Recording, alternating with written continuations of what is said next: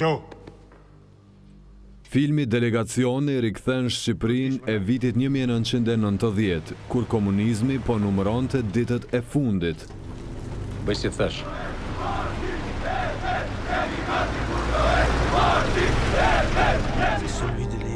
Kreu në atë kohë i delegacionit të Këshillit të Sigurimit në Bashkimin Evropian ishte nisur drejt Shqipërisë, ku kërkoi të takojë një mik të studimeve.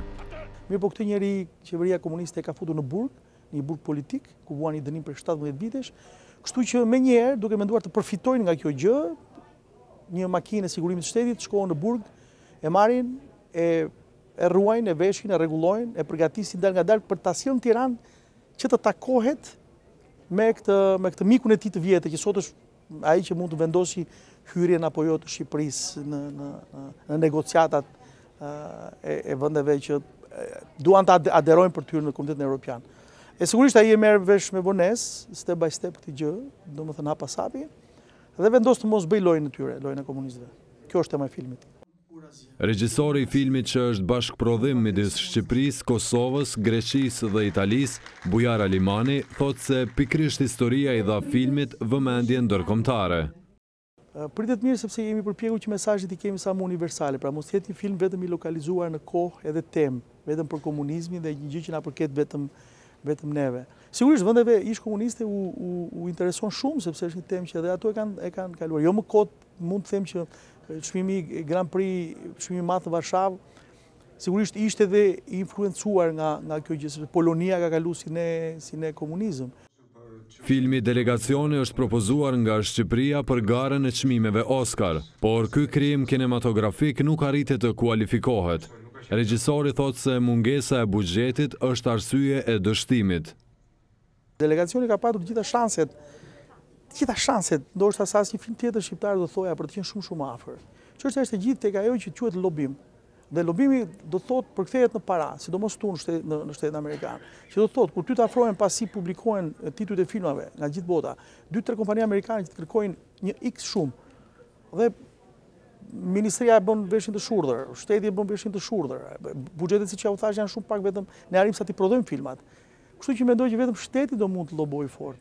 Ceremonia e promovimit u organizua nga Konsullata e Kosovës në New York. Ambasadorja Teuta Sahatqija tha se arti përfaqëson më së miri shqiptarët dhe se projekte të tilla duhen përkrahur. Mendoj që arti është ambasadori më i fuqishëm i kombit dhe për art nuk ekzistojnë kufijtë artificialë.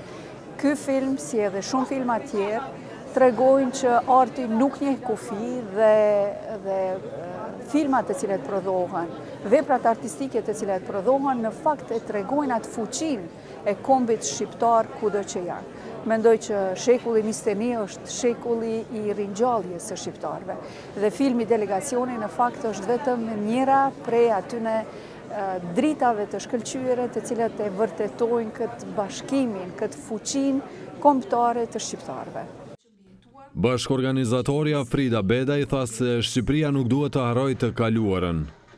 Po të shikosh gjermanët bënë krime shumë të mëdhaja, por ata përfaqësuan met me filmat e tyre faljen, si të thuash pastërtim për gabimet që bënë.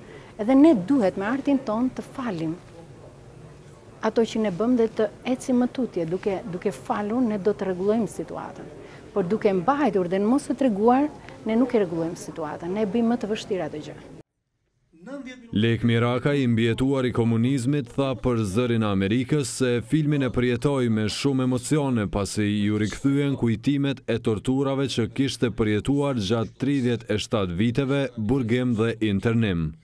Krijoi shumë emocione, sekuencat e para të filmit, ku janë aty në mens, mencën e burgut, ato televizorit, asë i punë, më kthyen në një realitet shumë të gjallë, pata dhimje.